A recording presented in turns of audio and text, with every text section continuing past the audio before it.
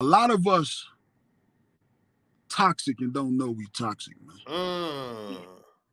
We don't know we toxic until somebody tell us we toxic. Like, and we, you know, like we, we get Mm. around some, we get around, like we get around healthy people who live, who who who live healthy lives and have healthy relationships and and and raise their kids different and was raised different. Like you get around them type of people and you be looking, you be like, like damn,